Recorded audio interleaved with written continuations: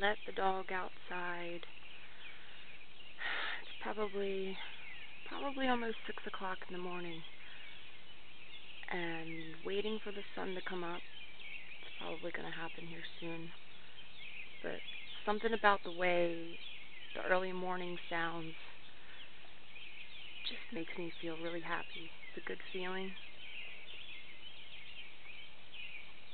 It's nice to just kind of sit and listen. This is one of those simple things in life that people take for granted.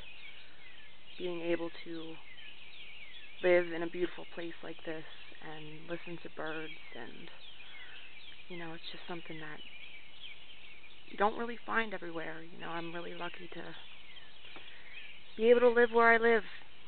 Right, dog? We're lucky, aren't we? Yeah, we're lucky.